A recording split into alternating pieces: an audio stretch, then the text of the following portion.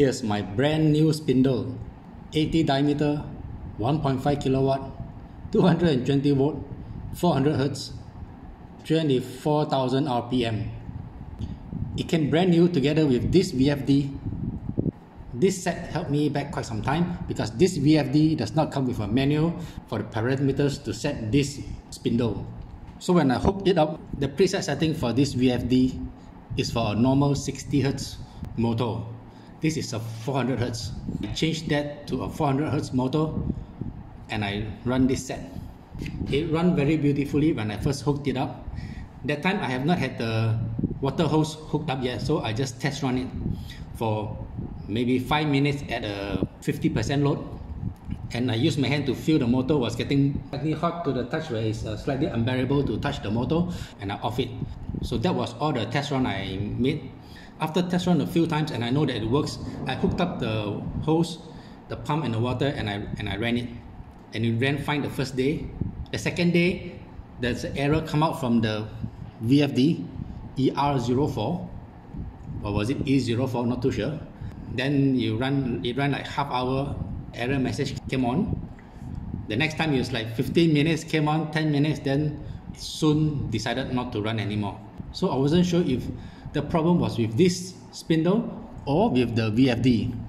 Of course, this was brought from Taobao. So I've contacted the supplier and the supplier told me, the supplier told me that I've burned the spindle. But I said no, it's an error from the VFD E04, ER04. I was surprised he was a nice guy so this nice guy, this supplier, decided to send me a board. That's why I have a spare board. And he asked me to change it myself, so I replaced the board and I test run again and it was not working.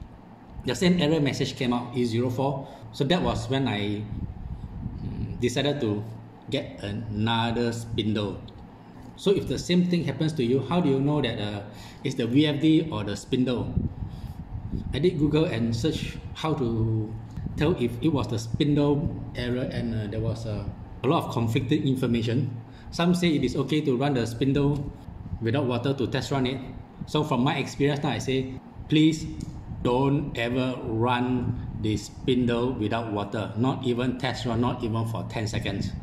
Hook up the pump first, hook up your water reservoir, hook up the hose, make sure your water cooling system is running before you run this spindle.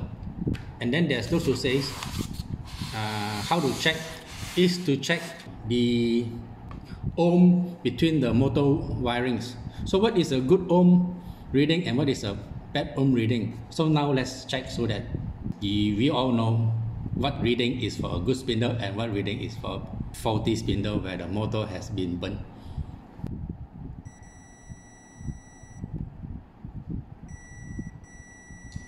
1.2 ohm okay 0.7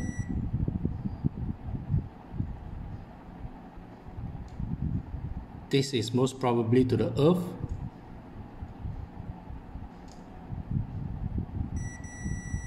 One point one point four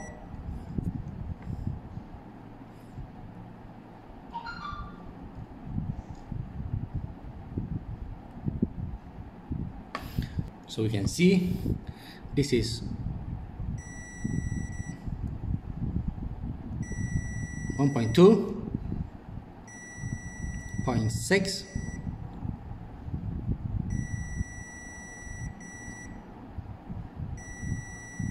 one point two. So 0.6 is the one that failed.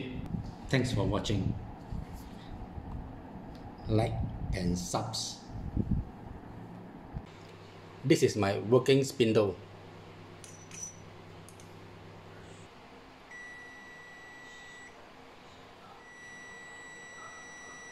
One point three, one point four.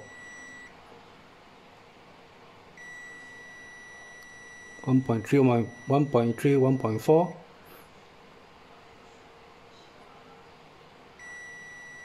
One point three, one point one point four. So all three connections are the same. So this is a good spindle.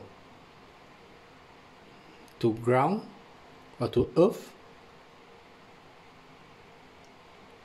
no reading